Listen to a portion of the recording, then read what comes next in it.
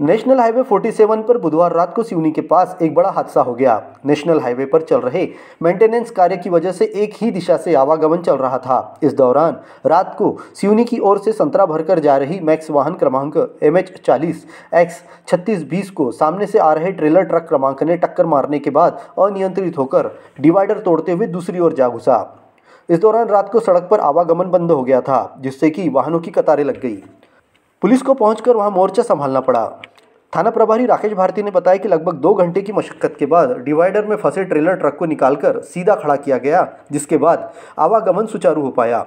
सिवनी के पास national highway पर एक हफ़्ते में यह चौथी बड़ी घटना हुई है। सिवनी के ग्रामीणों ने नेशनल हाईवे विभाग से सुरक्षा के साधन बढ़ाने की मांग की है, जिससे कि आवागमन के दौरान जान माल का नुकसान कम हो सके।